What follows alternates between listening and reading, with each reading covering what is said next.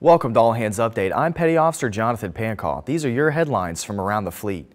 USS Rodney M. Davis returned from its final deployment December 19th. During the six-month deployment, the guided missile frigate's crew conducted operations and theater security cooperation with partner nations in the Indo-Asia Pacific region. Rodney M. Davis also completed 13 underway replenishments and logged nearly 300 hours of flight operations.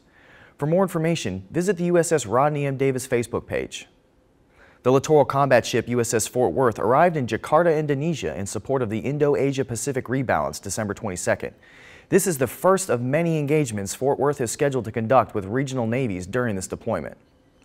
Fort Worth's visit also plays an important role in the growing partnership with the Indonesian Navy. For more information about the Fort Worth, visit Navy.mil.